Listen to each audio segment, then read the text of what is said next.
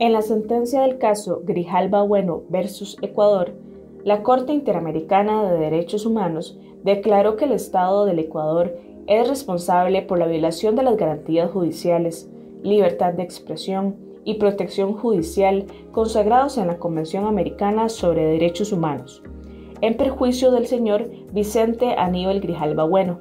quien fue destituido de manera irregular de la Fuerza Naval del Ecuador en 1993, luego de haber denunciado torturas y desapariciones forzadas dentro de la esfera castrense.